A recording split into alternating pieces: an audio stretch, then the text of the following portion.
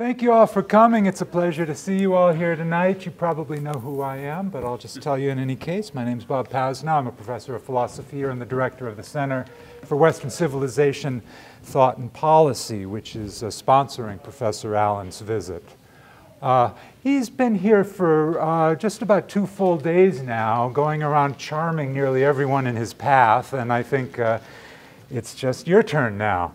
Let me say uh, a little bit about him. His PhD comes from the Claremont Graduate School in political science. He uh, taught for a few decades at Harvey Mudd College in Southern California before moving to Michigan State, where he was professor and also dean of the James Madison College there for, uh, I think, another few decades.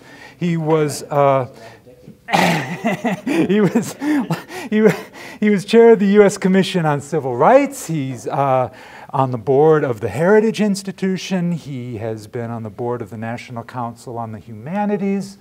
Uh, he has published a great deal. I won't even mention all of his articles, but uh, among the books that he's written, he's written books on George Washington, on Montesquieu, on Harriet Beecher Stowe, on James Madison, and on the Federalist Papers.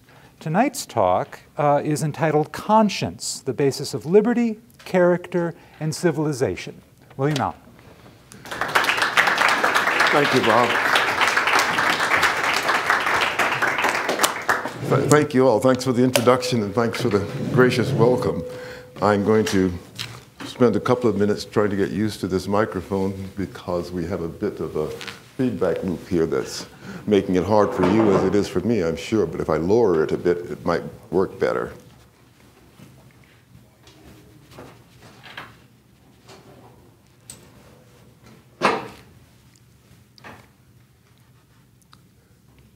Now, how does that sound? Yeah. It's getting better, isn't it? That's wonderful. I'm, I'm grateful for this because uh, I, although I can from time to time be rather demonstrative and make myself heard, I also have those moments in which I fade into softness, and I don't want to do that unmindfully and leave you wondering whether I'm only doing a pantomime. For I assure you, uh, this is no pantomime. I'm, I'm here to bring you a serious conversation, though not a detailed reconstruction of my work in this particular area. I, am mindful that really is necessary to be humane. And so I'm not going to mistreat you this evening, but I hope to entreat you to consider very seriously the question I'm going to pose for you, which, as you know from the title, is the question of conscience. I'm concerned with conscience specifically from the perspective of its relationship to liberty as foundation of liberty and its relationship to standards of civilization, the conduct of decent political life, and in perhaps the that without which Republican institutions cannot be expected to survive. So, so I want to ask you to engage with me in this discussion while I present to you some considered reflections on the broader topic. But I want to start with a question for you. And I'm going to pose that question momentarily. But I want to say, in addition, by way of preface, that I'm going to try to restrict my remarks to a relatively short period of time so that we can have an extended period of time for interaction with questions and pursuing the conversation. Now, whether I succeed in doing that, I, I, make no warranties.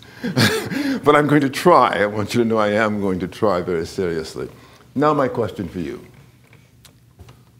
What do you think conscience is? Anyone may speak. what is conscience?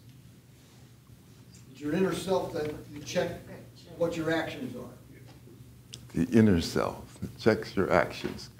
Anyone else? Uh, it is, you feel it, and yet sometimes it is silenced in you, and that is a very mm-hmm. mysterious thing because if it were as active and responsible mm-hmm. and reliable as you would like it to be, you would feel it the instant you needed to feel it. But I feel like it's negligent and off duty. Okay. Fair enough. Not just for me. Yes, go right ahead. About internalization of our shared morality. Internalization of shared morality. Okay. We, we, we, we've certainly got a gatekeeper. We've got a good range of views here, which is really helpful in framing the conversation that we need to have. Because the first observation I have to make to you is it is really quite remarkable that this term has had the life that it has had, that everyone uses it. Everyone recognizes it. Everyone attaches some meaning to the word conscience. And yet, it is perhaps one of the most elusive concepts or constructions with regard to human nature that we have. We cannot, in fact, produce a scientific account of conscience. That's where I want to begin. I want you to understand that we cannot produce a scientific account of conscience. We can speak of hearts and brains, and we speak of feelings, passions, emotions, and we can identify those with precise physiological phenomena. We can't do that with conscience. And we rely on conscience, as it turns out, perhaps more than any of those things apart from our recourse to the brain as a seat of reasoning. And so, since we rely on it, we ought to spend some time thinking about what it is. So let me give you a context for that conversation to go a step beyond. Uh, Edmund Gibbon, you, you remember the decline and fall of the Roman Empire. Massive work, magisterial work, greatly helpful in thinking through what transpired in the period of the Roman Empire. But perhaps it is not always apparent to at least a quick reading of Gibbon's work that its most significant, or at least one of its most significant characteristics, is that it is an anti Christian treatise.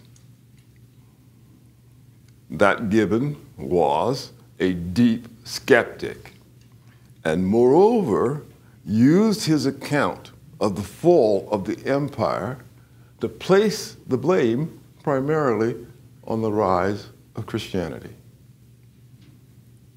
Very interesting. Why, in this context, is it interesting?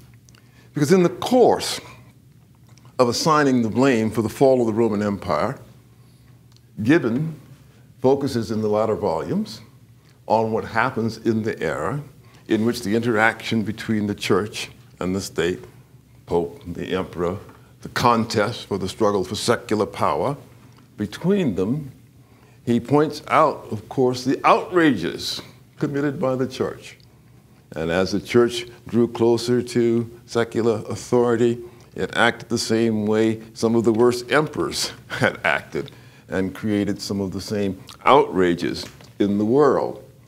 And in the face of those outrages, Gibbon could identify from time to time stout hearted souls who, out of conscience, resisted the rule of the church. And he used the word precisely conscience, that they were not cowed by the demands of religious authority or by the demands of secular authority. They stood, as we would say today, on principle, but he said they stood on their conscience. Now that's a paradox.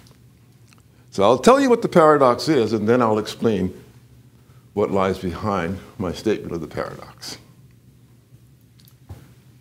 The conscience Gibbon relied upon in his anti Christian treatise is only understandable as a derivative of Christianity. It is a remarkable thing, a remarkable thing that someone who sets out to undermine the claim of Christianity to moral authority finds his greatest moral claims in something that he derives ultimately from Christianity. Now, I point that out not because my talk is about Gibbon. My talk's really about America, about us, who we are, how we understand ourselves, and what is our character. But Gibbon's experience is not unrelated to our own experience. We have lived through a time in which we have seen the meaning of liberty, the meaning of freedom, become quite confused. I usually describe it as as we have seen freedom being dumbed down, to put it as bluntly as I may. Which is to say that we no longer readily understand the term liberty or the term freedom to describe moral potentialities. We understand it instead in very limited terms of asserting, at the best, self interested claims to degrees of autonomy, degrees of autonomy that reach no further than to uh, operationalize one's desires in a competitive struggle with others. Very limiting conception of freedom, but it seems to be where we've come. Now, there are reasons for this, reasons that are understandable and that we can trace through our political history, certainly in the late 20th century, early 21st century. But let me just speak broadly for a moment so that we see how I'm talking about this. Since we think of constituency preferences or individual preferences when we think of freedom, we should recognize that the freedoms thus targeted seem in the main to identify a right to act with immunity to social constraint as opposed to legal constraint. That's how we tend to frame the conversation. Now, to be sure, legal constraints often buttress the social constraints, and when that occurs, the legal constraints may become a barrier to personal choice that illegitimately entrenches social constraint. That may be fairly sad in the circumstances in which laws and mores have evolved in recent times with regard to same sex relationships. The list of personal preferences, otherwise constrained by social disapprobation, however, is much broader than what has come to be recognized in the uh, discussion of same sex relationships. And indeed, it opens up into what we might characterize as identity construction. A consequence of this development is a discourse of freedom increasingly focused upon individual conduct as an exception to social expectation. So that's what I mean when I say a dumbing down. That is such a strange diminution of the concept of freedom, in which it is detached from principles of sociality. Ultimately, freedom means nothing if it doesn't describe in some fundamental way principles of sociality and certainly collective responsibility for our political life. I can refer you to a book called Our Declaration, which provides in recent times an excellent account of how the Declaration of Independence opened the door to the full assumption of collective responsibility for political life for human beings everywhere. I would do that even more enthusiastically, except it would be unseemly since my daughter is the author.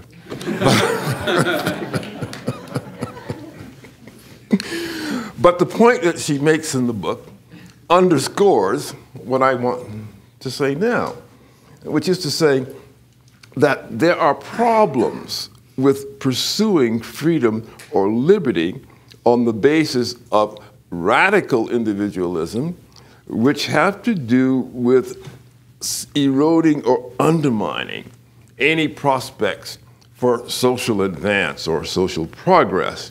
And particularly when it comes to fostering in human beings their best exertions or what I would call the potential of the best. P part of what the whole drama of liberty is about is fostering the flourishing of human potentiality. And so it is an investment in the potential of the best. And, and this investment in the potential of the best has come into conflict in our times.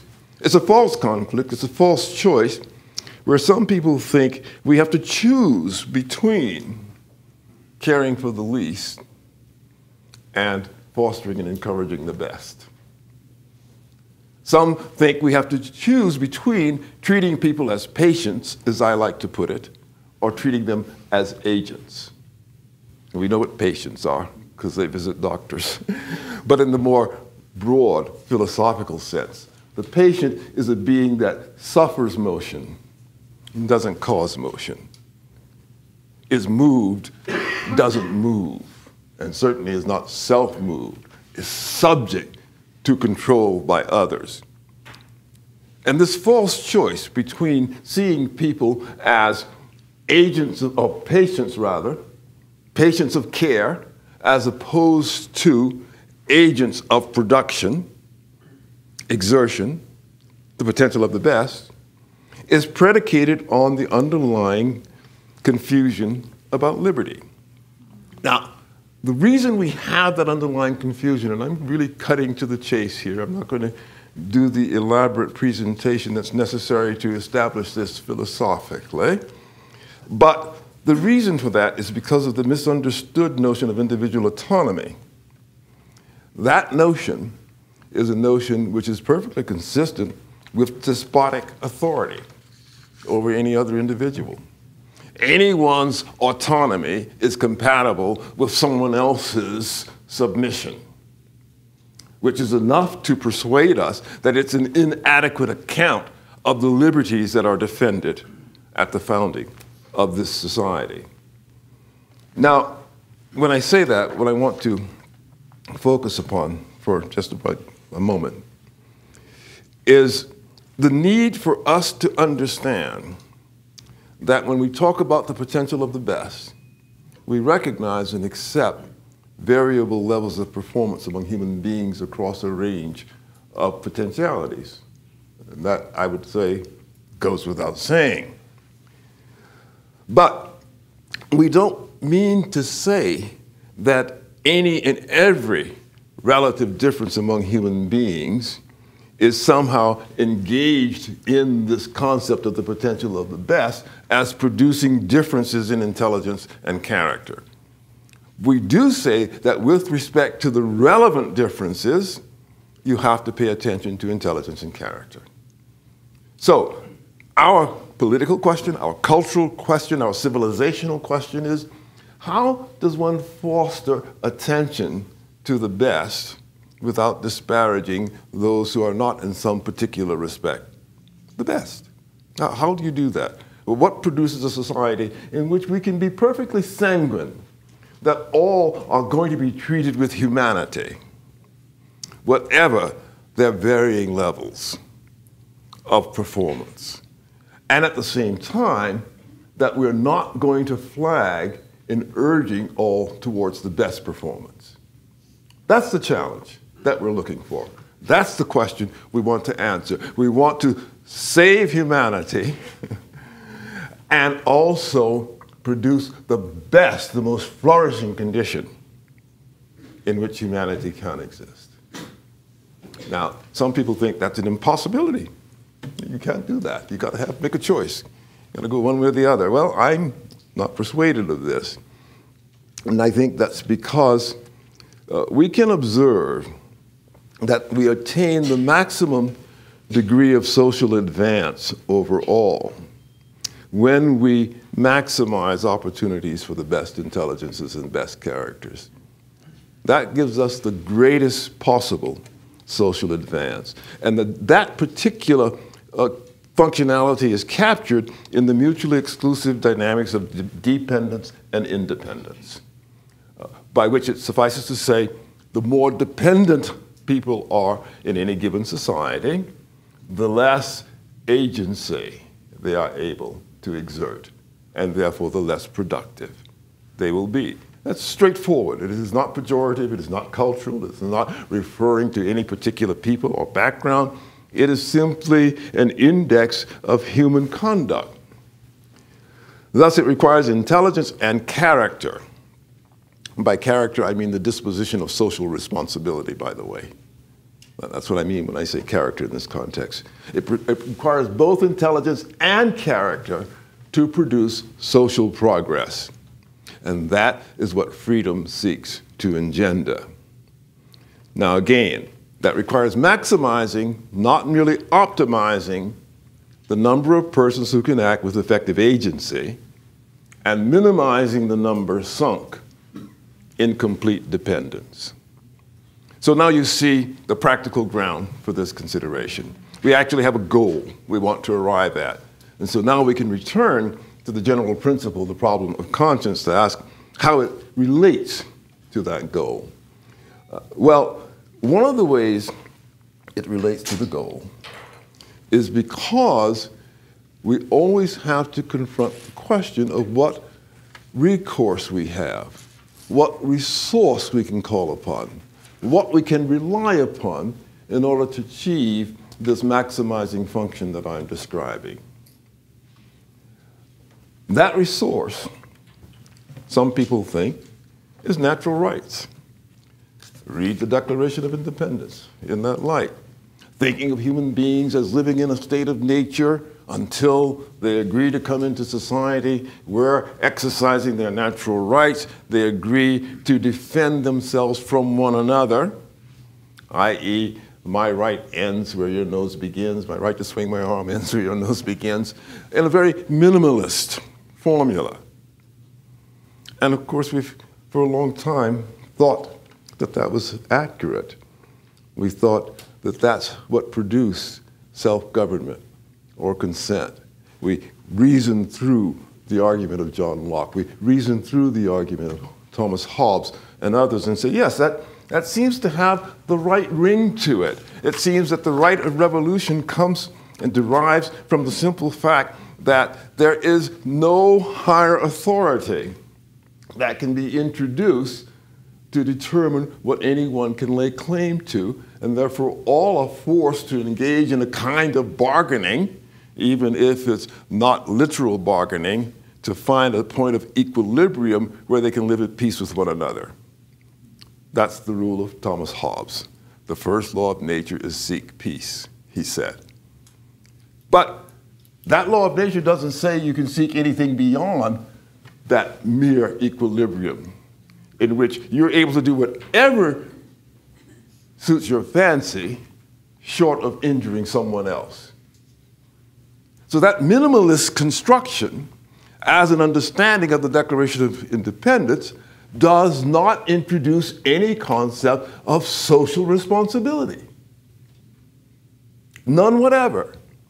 Which leads to asks, therefore, is it the fact that the founding of the United States is actually not a very elevated thing at all in human history? That it's really rather base, that it offers no more than the minimal condition of not causing trouble for others as the only guarantee people can have for living a decent political life? If so, it will have cheated us of something important. And it would have been itself a dumbing down of liberty. Except, I do not believe that is the correct understanding of the Declaration of Independence. But to get to that correct understanding, it's necessary for us to recover the term conscience. Now, here's how we're going to do that without walking all the way through the elaborate argument, and I'll give you some references and indexes so that you will be able to recover it on your own. But I want to start by acknowledging that the Declaration of Independence includes a very important sentence. The sentence that says, Prudence indeed will dictate that governments long established should not be changed for light and transient causes, and accordingly, all experience have shown that mankind are more disposed to suffer while evils are sufferable than to right themselves by abolishing the forms to which they are accustomed. So the Declaration acknowledges yes, we have these rights. Yes, they give us the right of revolution, but we don't just heedlessly indulge the expression of that right the exercise of that right, we subject everything to a deliberation, a prudent consideration of what is justifiable in the context. And that means ultimately what is morally justifiable. Now, the Declaration, in doing that, also gives us, in the clause following the clause that I just read, that whole expression of collective responsibility. That is to say, people make governments for themselves. A concept which eludes us in a day and age in which we like sometimes to imagine that governments make peoples for themselves. but that's not what the Declaration says. It says people make governments for themselves. So now a question emerges how do people do this simply operating on the basis of the limited conception that each has a right to occupy some space in the universe short of injuring someone else? How, how, do they get to make government? What governs their relationships? What governs their reasoning, their coming together? Well, the missing part in the Declaration of Independence was pointed out by James Madison in 1784 in the Memorial and Remonstrance. And this was a production Madison produced in Virginia when there was a legislation pending in the Virginia Assembly to impose taxes on citizens to support religion. And the memorial and remonstrance was an organized opposition to that legislation, which ultimately succeeded in defeating it and therefore defending religious liberty. But the interesting part of James Madison's defense of religious liberty was not a mere separation of church and state argument, but what lay at the core of his presentation before the public was that each of us has a duty to God before our duty to government. He referred to that as conscience, the liberty of conscience. He says, It is from this that we derive, from this liberty of conscience, this is what we derive all our liberties from. I.e., this is what describes for us a restriction not upon ourselves, but upon government that government can go so far and no further. Conscience, in other words, has been evoked by Madison and others in the context of the founding as the actual point of departure for the rights that we defend, for the liberties that we exercise. Now, this is really rather extraordinary because you see, James Madison understood that conscience was not necessarily something that resulted in uniform expressions of moral judgment. He, he understood that people's judgments would vary, their conscientious judgments would vary. And still, he was able to say in 1792 in an essay on property, the first property. See, the essay is about the rights human beings have to property. And the first property, he said, is conscience. Conscience. An odd argument. Very odd argument. How does conscience become a property? Where derives this obligation to God, whether you believe in God or not? Because that's the formulation he's saying, using. He's not saying everyone has to belong to a church. He's not saying everyone has to believe in God. He only says everyone has an obligation that derives from God which is called conscience, right of conscience. Most bizarre, most bizarre. In structuring that argument, Madison has entered into a conversation characteristic of much of the 18th century, which has this distinction. So much of what we read in the 18th century, whether in political philosophy, in literature, and uh, religion, or anything else, sounds a little odd to our ears at this point. You know, it's not our vernacular. But here is language that was used throughout the era that is still vernacular to us the appeal to conscience. We don't have any discomfort in hearing an appeal to conscience. we're willing to make the journey all the way from uh, Sir Thomas More to who knows whatever recent martyr, and we still recognize the appeal to conscience. And in the 18th century, they were able to do that. George Washington, as an 11 year old, wrote out 110 rules of civility and decent behavior in conversation and society. And the last one, the 110th, was labor to keep alive that little celestial spark called conscience. Little celestial spark called conscience. Now, as I said at the outset, this is peculiar because we don't know what conscience is. That is, we don't know by virtue of our own inquiries into the realm of nature. And if we pursue them, we're going to run aground. We'll run into the Stoics, for example. The Stoics who said, yes, there's a natural law, reason can uncover that law, and once reason does, it is binding. Yes, that is a Stoic argument. That almost sounds like conscience, except for one very important distinction. Very few people, according to the Stoics, could attain that level of understanding.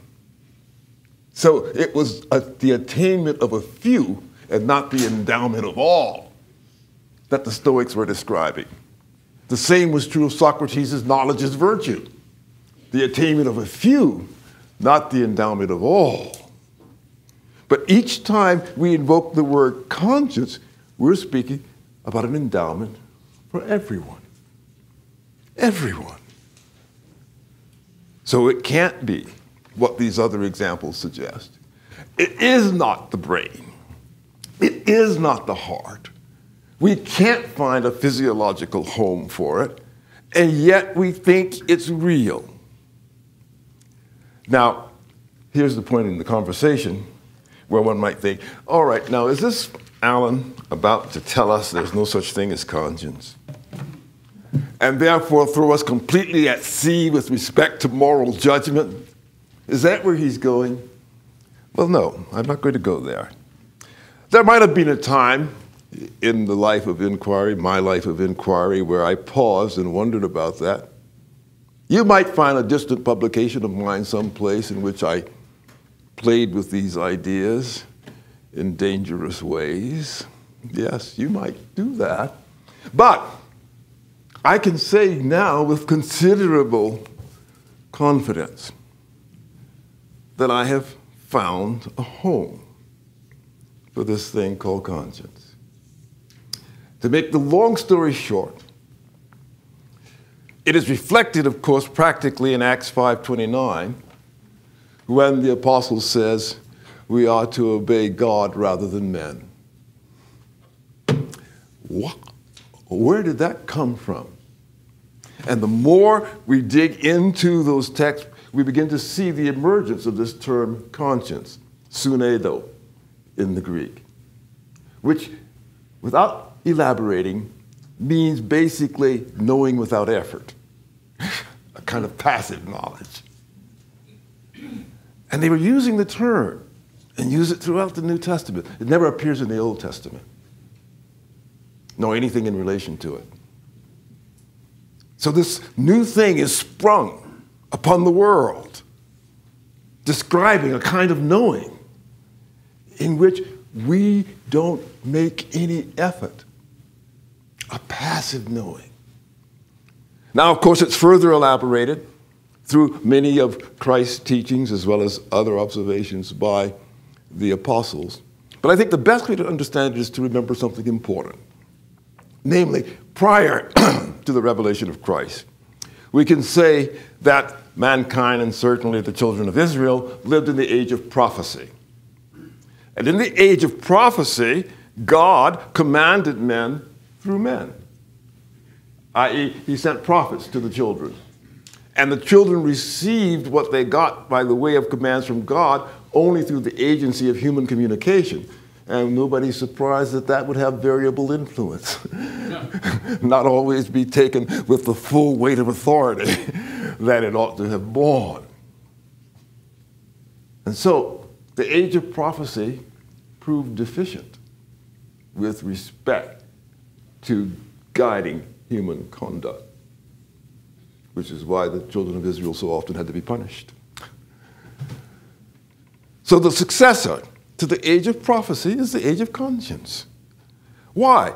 Because Christ himself said, I'm going to leave, but I'm going to leave with you an agency.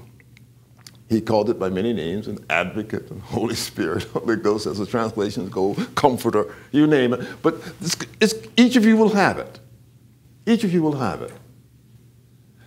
And this thing that the gospel writers call conscience is their understanding of the fulfillment of that promise by Christ. Now, bear with me. I'm describing an historical and cultural phenomenon, but potentially also a reality. Do you understand what I'm saying to you? That we have to take seriously this claim that though we do not necessarily walk in the pathways pointed out by conscience, because we retain the ability to deviate from it, we never lack its guidance. That is the claim. That is the relevant claim. We do not lack its guidance. Well, I could say much more about that, but I want to come back now to the founding of the United States. So you know where I'm coming from. This thing called conscience actually exists for the people who are referring to it.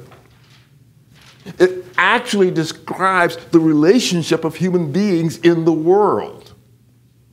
They actually are able to derive from that political principles. Most importantly, the principle of liberty. You know, render to Caesar what is Caesar's, render to God what is God's. Don't let government get in the way of obeying conscience. That's the derivative rule.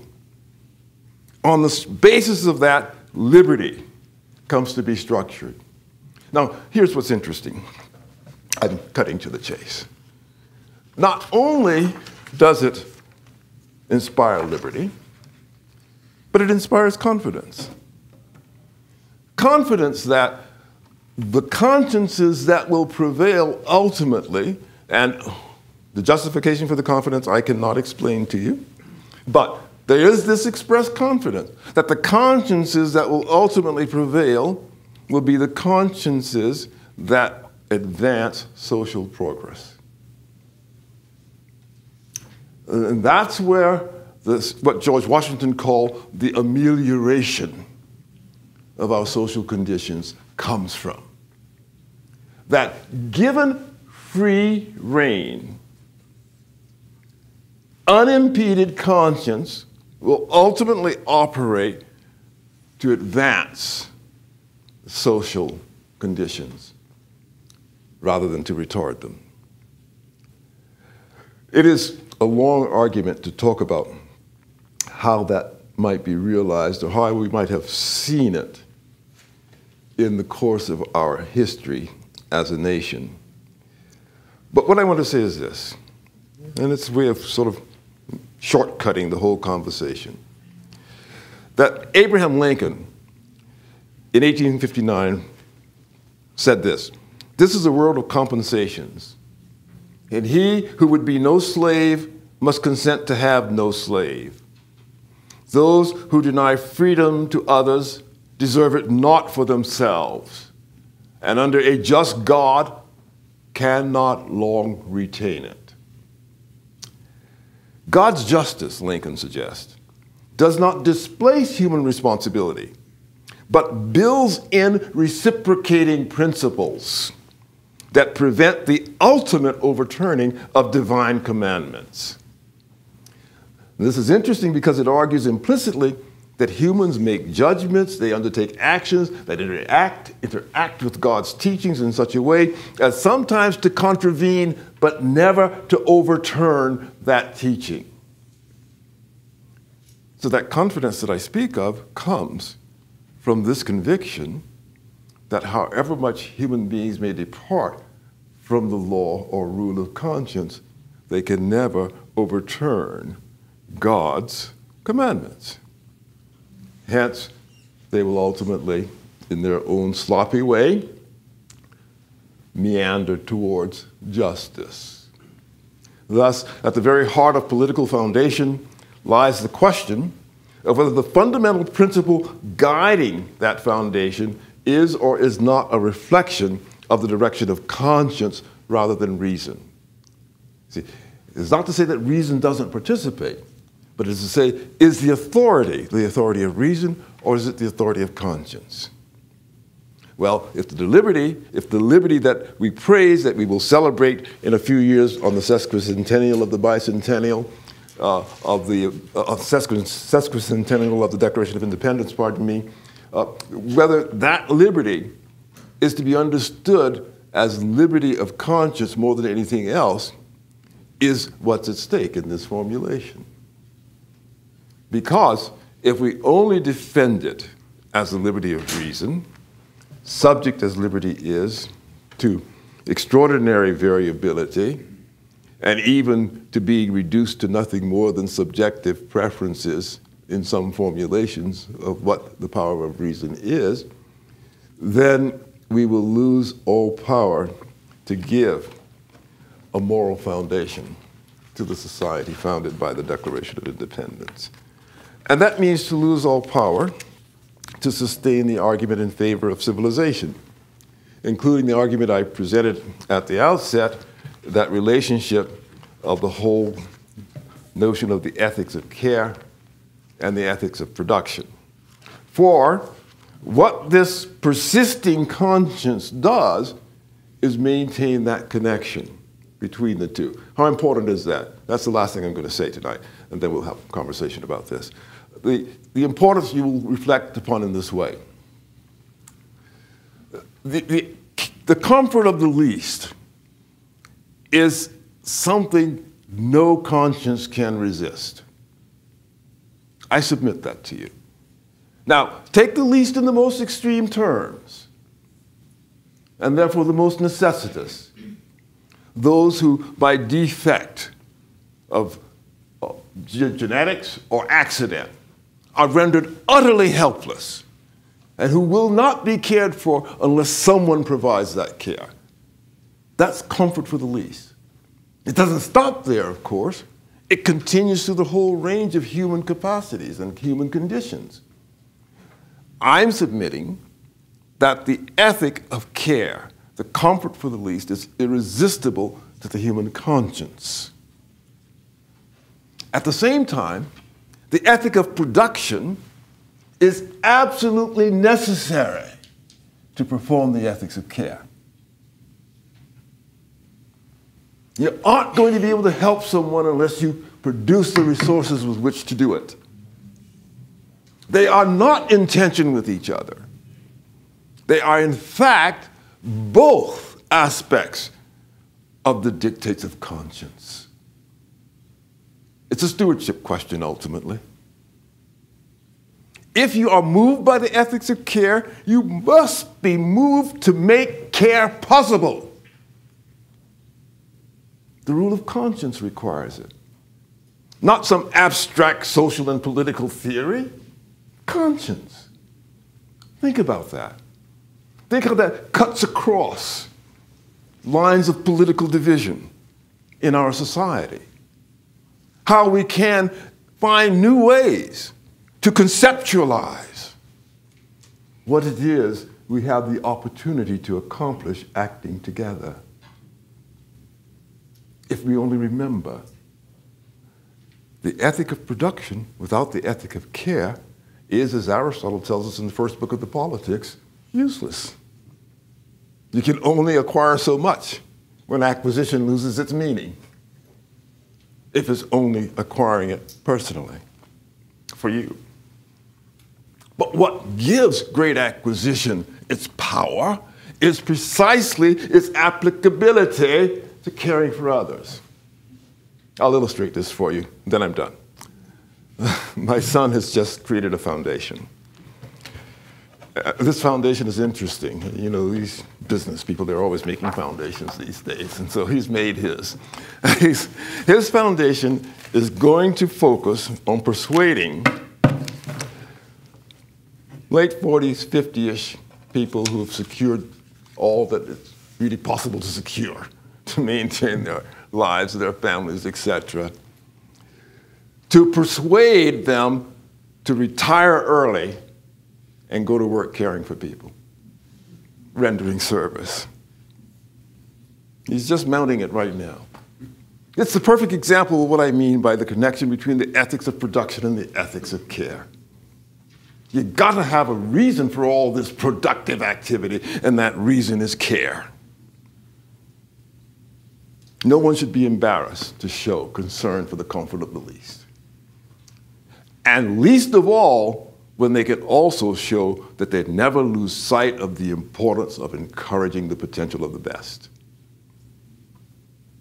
That is a rule of conscience. That is the principle of civilization. That is the standard of liberty.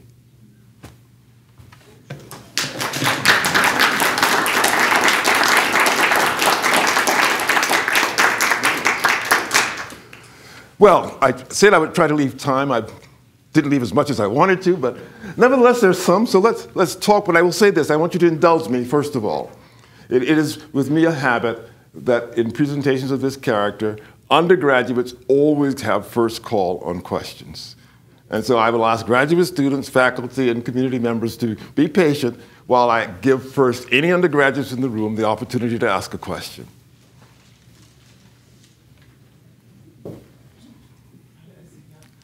Yes, go right ahead. Um, so you were talking about Locke's state of nature, but, Yes. um, and how that's not good now. Mm-hmm. Uh, and I was wondering, would you would you agree then that um, that that humanity in general we are um, we are social creatures who are self-interested at heart? We are social creatures, self interested only if you mean by self interested that we're concerned to move ourselves in the sensible world at our own direction. Now, you didn't expect that answer, did you? so let me say a word about that. And this is related to conscience. You see, if this faculty function operates the way I've been describing it, what it means is that man is not simply a stimulus reaction mechanism. That within the empirical world, the sensible world, it is not simply the case of there are external experiences, stimuli, which we internalize and react to, but that we actually move ourselves from within. We initiate our motion. We are, with respect to the sensible world, unmoved movers. Now, that particular expression, the unmoved mover, is the formulation Aristotle uses in his description of God in the universe. But there's a way in which then human beings are like God on a small scale. They're not like God on the creating scale, but they're like God in relationship to the world around them. That is, they are moved by it, but they also move in it independently of it. And they can also move it at their own initiative. So when you say self interest, I ask, well, what do you mean by that? Do you mean that I have sufficient autonomy to set my course, to do what I choose to do? The answer is yes. But if you meant by self interest something much more limited and utilitarian, as if anyone ever knew perfectly well what was to his own good, and only did what was for his own good, well, then I would have to disagree because even if it were true that human beings acted with reference to a perceived good, I could never say, any more than Socrates would have said, that they do so infallibly. And if they think something is good for them when it's not, and they pursue it, was it in their interest? Ah, uh, no, I think not. And I think they would agree with me after the fact. So you see, I have to change it into this whole question of whether I act with reference to my intentions. If that's what you mean by self interested, that I'm an unmoved mover in the sensible world, yes, the answer is yes. But that goes beyond Locke and Hobbes. Any other undergraduates? All right, we throw it open. Anyone? Yes, sir. So at the beginning, you asked us what we thought conscience was. Mm-hmm. And I didn't answer then, but in my head, I'm thinking conscience is my sort sort of innate knowledge of what's right and wrong, based on what I would consider to be reasonable or objective values. Ten of those are included in the Bible. But I don't necessarily think, so I'm confused a little bit because it seemed like you're saying that Christ gave us conscience, which would mean that before Christ there was no conscience. Right, I, I'm I'm glad you got that. In the Old Testament could never have acted with conscience. I have that, I have a hard Yeah. time with that. Well, let me explain it to you then. As I said, I'm not going to tell you the whole story, but I'm going to give you at least a glimpse of it. Uh, go back to Genesis and go back to God walking in the garden, calling out, Adam, where are you? What did Adam do? He hid timidly, we can imagine, peeked up his head. Uh, here? but, but we hid from you because we were naked. Who told you you were naked? That question says the capacity for conscience was there, but conscience wasn't there. Nobody told him he was naked. You said it's internal knowledge, but it isn't acquired knowledge. That's the point. Adam had it, but it wasn't operative. That's why, in the age of prophecy, conscience was not the rule for consideration. Direct communication was necessary, and the experience was variable. When Christ says, I will give you a sure guide, what he's saying is, I'm performing an operation on conscience. So, yes, this faculty was always there, but it wasn't called conscience because you didn't pay any attention to it, you didn't know you had it, it didn't effectively constitute a rule for you. I'm going to turn it into a rule for you. So, in that way, whatever this disposition is in the character of the human being, it comes to be conscious in the active sense. It's as if you have a chemical compound that was inert, and you discover that by adding a slight element to it, it becomes active, an agent. That's what it's about. Except that, sorry. Oh, go right ahead. You're using the Bible to justify your biblical theory. No, I'm not using the Bible to justify biblical theory. I'm only recounting what the Bible recounts. Right, but the Bible is a limited body of knowledge. You're not talking about what the people pre-New Testament did. You're talking about that pre-New Testament, it was a, a prof, prophetic culture. Yes, it was prophetic It was only prophetic when God attempted to talk to the people. You're not talking about what the people did amongst themselves. They're perfectly good societies that interacted with each other independently of. Absolutely, absolutely. I don't, I, don't, I don't know that I'm disagreeing with anything you're saying in that regard. What I'm saying is, no one in that prophetic age acted, acted with recourse to conscience. How do you know that? That- We have no record of it, we'll put it that way. The record beyond the Bible. But that's your assumption that, that Christ dropped it in because we have a record of that. No, no, no, no. It's, it's, let me put it another way to you. What we have is an accounting of how the human experience was understood by those who lived it. And that accounting shows us the progressive development of a concern with moral guidance as it operated in human beings.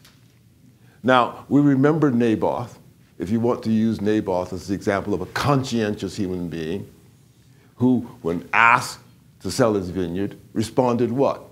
He didn't say, I can't by reason of conscience. He simply said, God forbid.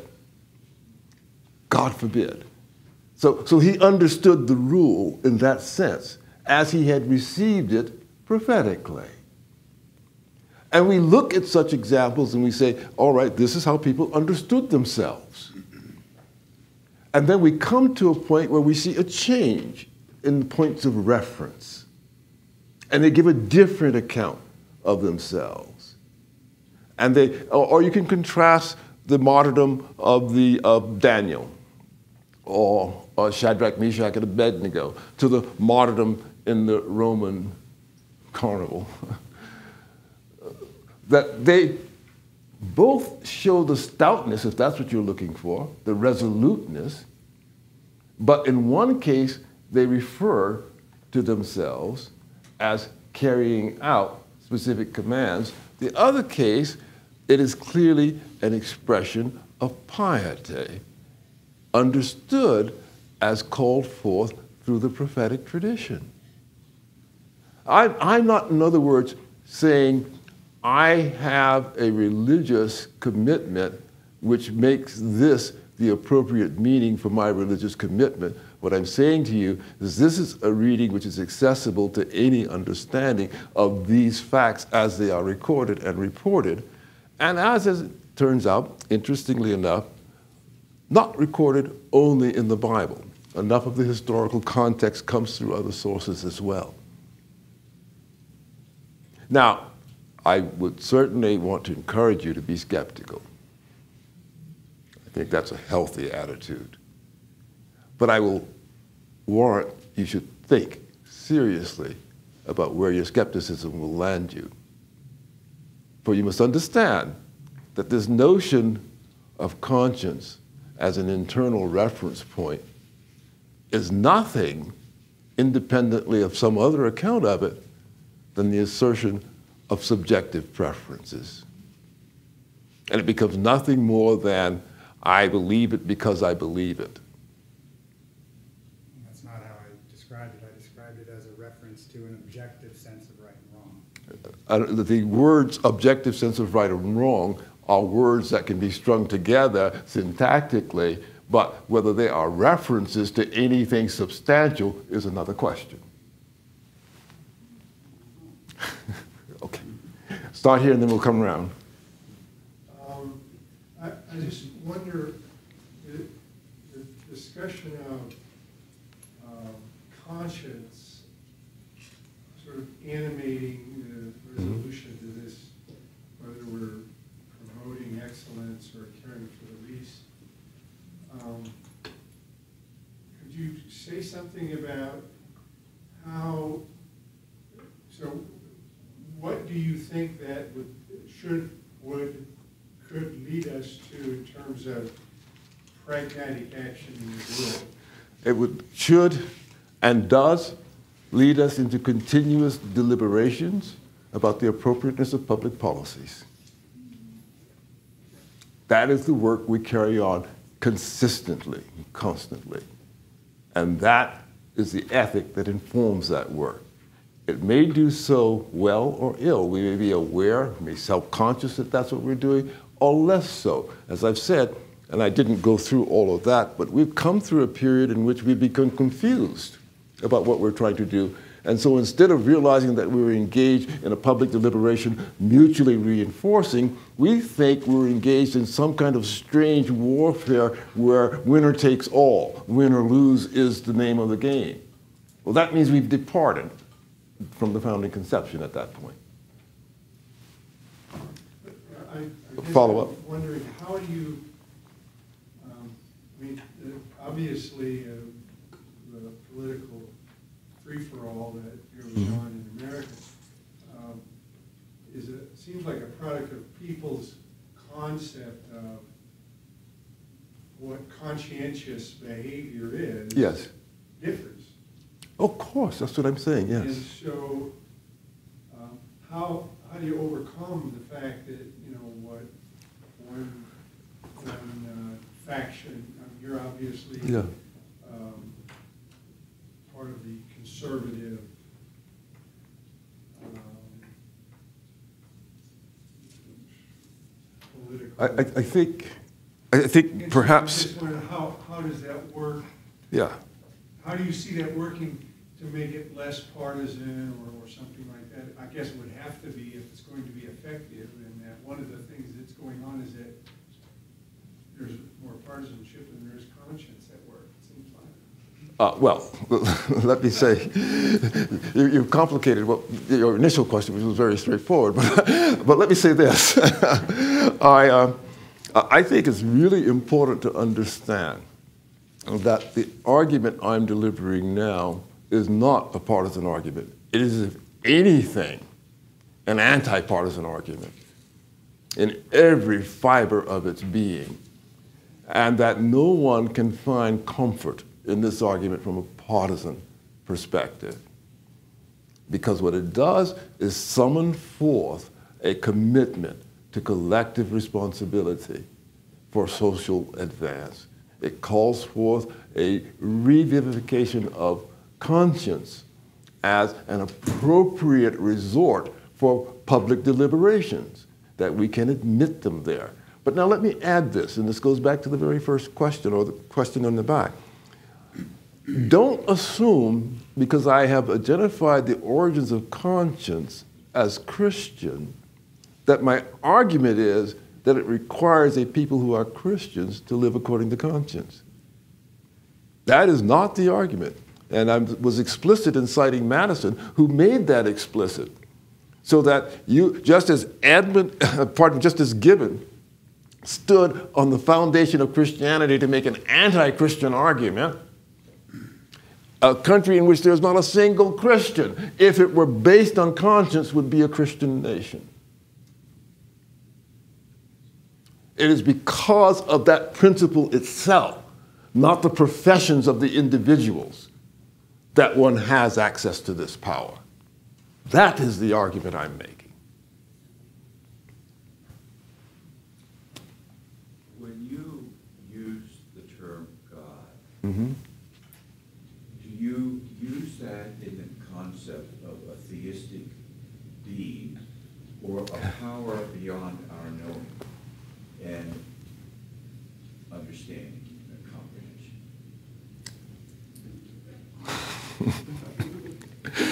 Why didn't you tell me they were tough?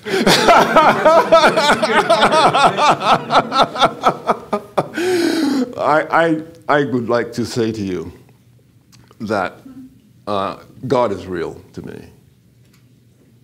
I have no doubts about that at all. Whatever, whatever. That doesn't answer the question. I, I'm not done with it either. I, I just want you to know that while we can question these things in any number of ways, we can also experience them with great clarity. And we needn't always find a perfect coordination between the ratiocination, the questioning, and the clarity. You say, is God something beyond comprehension? I say, no. God can be comprehended because God can make itself comprehensible. And moreover, if I speak merely from the perspective of my work in philosophy, and particularly in Aristotle and Aquinas, I am by reason completely persuaded that it is possible to ascend to the knowledge of God through reason. And I'll remind you what is said in the Summa Contra Gentiles that it is only salvation that cannot be attained through reason, but the knowledge of God can be attained through reason. So I think that there are some comfortable maxims we've become accustomed to about our relationship to God that have misled us, and we really ought to abandon them. It is not true that we cannot know God. We can know God. Yes. I have a, I have a brief question and then a, I think a plaintiff question. So the, the brief one is, uh, would you say, or would you agree with me, probably the better agenda, that God is a pluralistic evangelical? Well, you, you, you know I'm going to ask you to elaborate. No, just a simple answer, yes or no. I, um, I appreciate your development of conscience and agree with it. And so my sense is that God, uh, with liberty, Mm-hmm. uh, God is, is probably the most liberated, I think we should say that. Uh, God understands with grace a world that can be pluralistic in its religious expression. Oh, yes. Uh, Yeah. and, and- and so I'm grateful for that and, and believe that. Um, And at the same time, uh, God, as, as I understand God in the person of Jesus, uh, remains evangelical. Yes. So, um, so I heard you say yes, so I'll move on to my plaintiff question. Okay. So, and, and I so appreciate the connection between, um, uh, an ethic of production and an ethic of care for the least. Yeah. Uh, my, my plea is, um, I, I, I have none of the confidence that you have that, uh, empirically, uh, conscience cannot but help itself from care for the least. Uh, Because I don't, I think there, there seems to be so much evidence by my judgment, which is this frightening part, that uh, people who, who should have conscience seem to be disconnected from care for the least. Please share with me your confidence that those two, that those two are in fact connected. Well, I, my confidence derives simply from counting.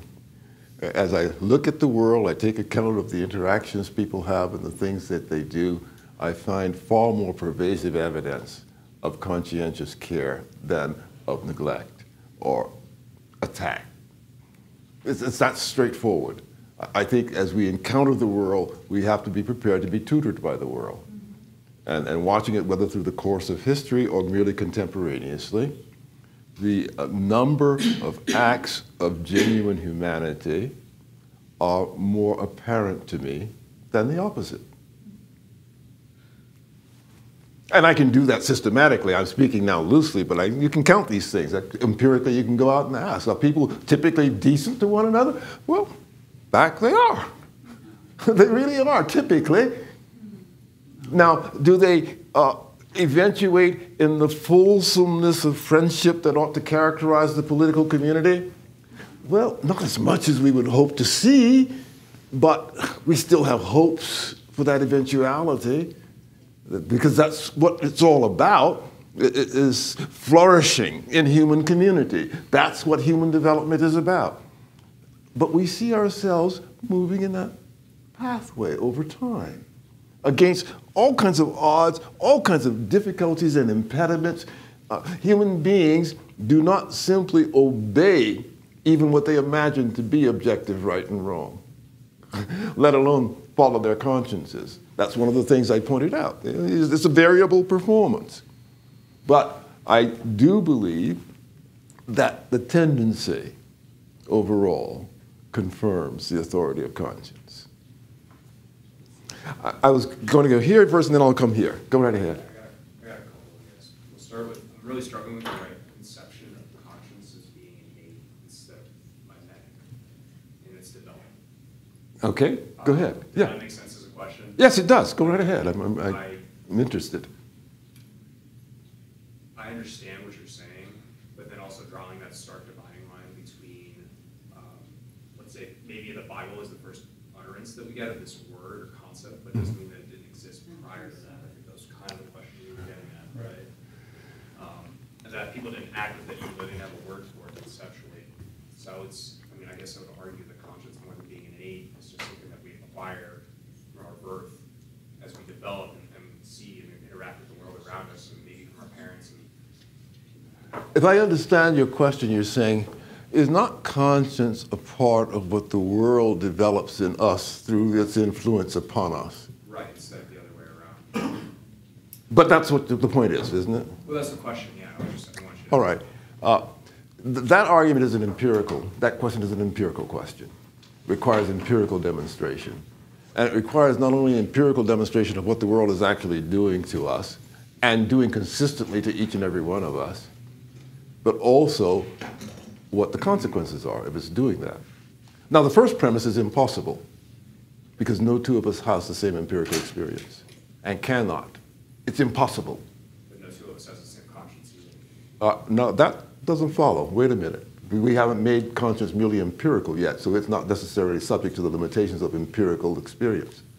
But first, understand that no two beings, not merely human beings, no two beings can have the identical empirical experience. You understand that in the context of space time and all the other relationships that govern it, right? I a physicist, so yeah. Okay, I just want to be sure I'm talking to you in the language you understand.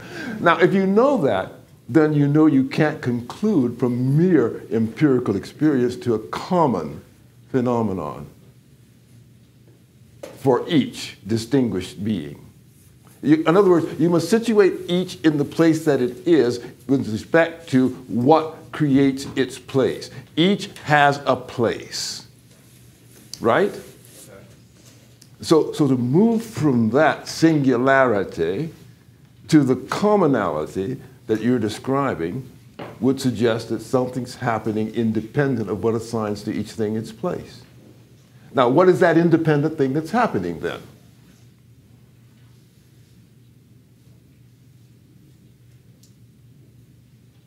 Okay, here we, now, now you lost me. Well, okay, let's, let's get some help. We, we could probably both use some help. Go ahead. I think it's tribalism. You learn by your influences around, now, your experience from, let's say, in this room, these Mhm. people are gonna help one another, moral backbone. You're gonna have a slight different perception than I'm gonna have, but we're gonna have, for the majority of it, a commonality. And I think it's the social mores, mores that help form your conscience. Go ahead. Well, what we're seeing in the Colorado Supreme Court, they're defining the statutes now of character and fitness, and they're limiting, it seems like, to alcohol and drugs, when we're facing the, actually our loss of liberty. And so the standard of liberty you define, it, to me, it's ideal, I wish, but it's really frightening what's happening to our liberty and democracy that we deal with every day, trying to counteract. It's absolutely frightening what they're doing to, to us as people, our citizens, Boulder, Denver, Colorado, coast to coast. Well, as I said at the outset, we are living through a time in which liberty is being dumbed down. And so I'm not surprised to hear your observation. Uh, I think, however, I want to remind you of one of the conclusions I offered, namely the responsibility for maintaining the vibrancy of liberty falls upon the people. Uh, now, I, I didn't go into this critique of allowing lawyers and judges to define our character, but uh, I could make that critique. well, well, well, that, that is a much longer uh, development, and I'm not going to pretend to give you a kind of uh, elevator speech about what can be done. But I will say this the healthy attitude of mother, I'd rather do it myself, will go a long way in resetting the balance in this society. And if people would simply take on that affect and be more readily prepared, say, Mother, I'd rather do it myself, they'd go a long way toward accomplishing the goal that you aim at. But just to spend a, a second or two on this question of social mores. I, I, I published a piece a couple of decades ago called The Truth About Citizenship uh, in the Cardozo Law Journal. And in it, I made an argument which was specifically addressed to the question of whether citizenship had any real meaning or not, whether it had any universal content, whether we could speak of citizenship in terms that were transnational, trans-tribal. In the course of the argument, I think I made a pretty convincing case that the whole notion of citizenship properly understood does nothing more than mark the era in which we evolved beyond tribalism and beyond subjection to recognize the universal claims of humanity as the basis of politics. To say we're tribal is to say we have no foundation for our politics other than our immediate associations. We are, as you said, a product of what is around us. We exercise no choices. The choices we imagine to be exercised are really only reflections of things, influences to which we've been subject. And so we can't take responsibility for them. And a curious consequence of that line of argument is we can neither make anything of ourselves nor take responsibility for anything that we do. Very curious consequence of thinking that way about who we are. I prefer to think of us as agents, not patients. Patients are the people who are shaped by what's around them and have no choice in the matter. agents shape what is around them and exercise choice in the matter. Oh, I'm sorry, go ahead. So I am trying to see things from God's point of view, I guess, and I'm thinking that maybe the era of conscience and relying on conscience to, Mm-hmm. for God to reach humans isn't working out much better than the era of prophets. And that there might be a kind of moment of assessment where the deity might say, on to the next era. here." And I, I, I, have no idea myself, I'm not a quantifier, how one would ever get these things calibrated, but you have noted several times the variability in human performance. My, my hmm. lame opening response to your what is Yeah. conscience was about, I don't know, it's there sometimes and then it's Yeah. deadened and silenced other times, and I'm not totally certain I understand why it comes out strong and then goes away, but it, it seems like that variability has been something you've noted Yes. a lot, and I'm just, um, thinking that your son's foundation is its own statement that a lot more has to go into getting that connection between achievement and excellence and productivity and care, because your son shouldn't need to create that foundation. If you're, you and your son are gonna have a tough time at holiday Thanksgiving dinners and those things, because he, if you were right, then his foundation isn't necessary. No, I, I, think that, that I have that done the singular misservice. Can I just ask you, you with him about this? I performed the singular misservice of, of misleading you about what I was saying. I was not saying that conscience is self-executing. It's really important. James Madison doesn't say it is self-executing. What he says is it has priority.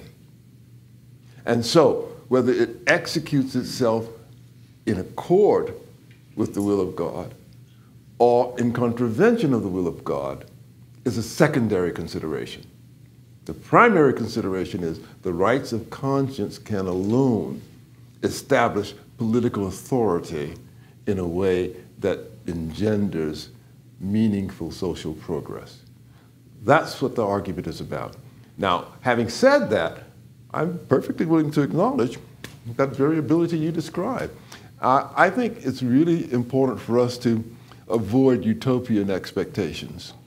Well, and I, I- that uh, you concede the need for your son's foundation because of what you refer to as the dumbing it down aspects of understandings of liberty. And Yes. I've been trying to think of what is the opposite of dumbing it down, and it's gotta be smarting it up, I don't know what, Yeah. what it is there, but you see your son as a force, and he sees himself as a force in reversing that dumbing it down. I would say so, yes. Okay. Yes. Uh, in other words, the opposite of dumbing liberty down is sustaining its open to transcendent experience. That's the opposite of dumbing it down, okay? And, and being moved by trans, transcendent ideals is very important so that the liberty which operates upon that foundation actually has scope to have good influence in the world. That's, that's fairly straightforward. Your son's got his work cut out for him. Yeah, well, of course he does. and, uh, No guarantee of success. Yes, sir. Dr. Allen, I appreciate you coming out here from Colorado. Uh, And your discussions are quite interesting and certainly have called my, uh, caused my consciousness to be questioned. But I have some, I'd like you to explain what you, is there any difference between principles and conscious? Because Yes. a lot of people are using principles as a bludgeon to the other side. Mm-hmm. And then when I think about neuroscience, you know, you say the sub, subtotal of all our human experience decide, helps us to form this conscience. In neuroscience, they come up the subfrontal cortex, and they call it our executive function, Yes.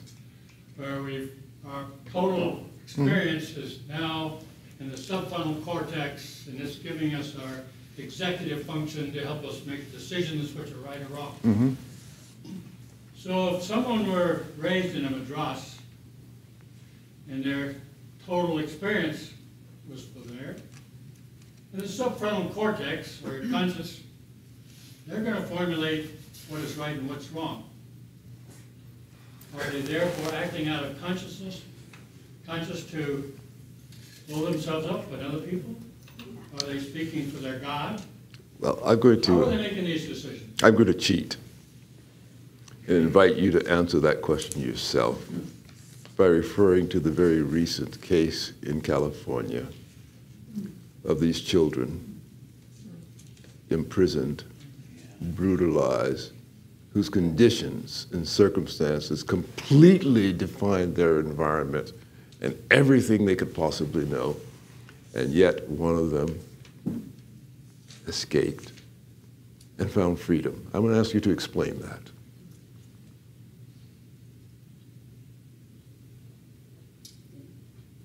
This is a tough. one. It's the same question. It's the same question you're asking. That's correct. Okay.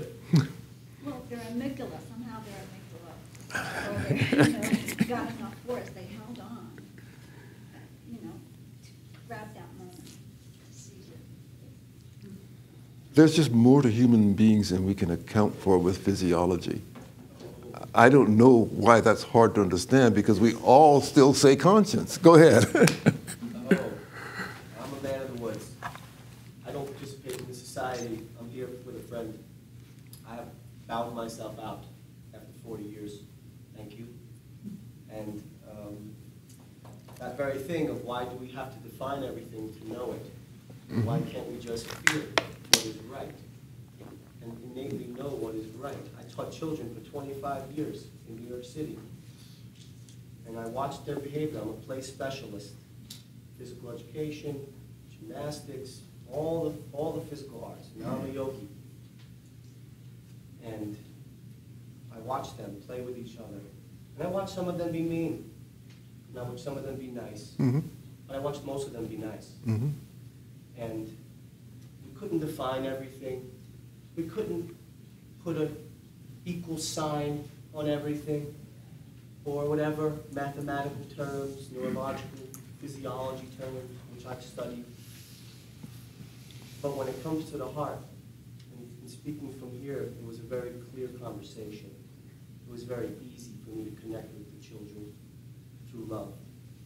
Through love and kindness and, and my ability to, which I wanted to say before, was how to share and just share.